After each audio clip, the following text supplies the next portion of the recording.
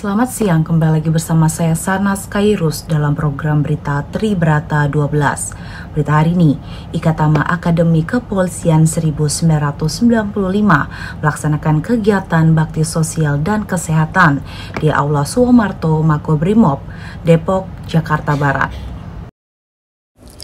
Ketua Ikatama 95 Kombes Polisi Wayu Bintono Haribawono mengatakan, kegiatan ini dilakukan dalam rangka 28 tahun pengabdian Batalion Patriatama Akpol 1995.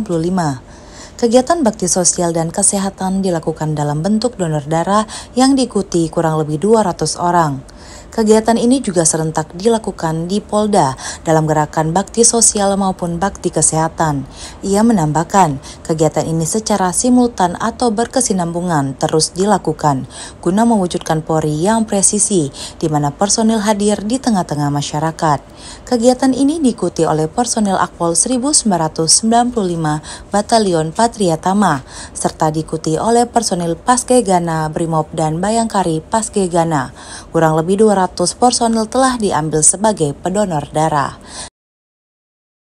Dalam rangka pengabdian Tama lulusan Akademi Kepolisian tahun 1995, kami melaksanakan kegiatan bakti sosial yang meliputi kegiatan donor darah yang diselenggarakan di Mako Paskegana Polri Kelapa II Depok yang mana diikuti oleh uh, kami lulusan Akpol 1995 dan juga personil Polri khususnya dari personil Brimob yang mana sampai saat ini uh, pelaksanaan uh, sudah uh, hampir 200 kantong darah.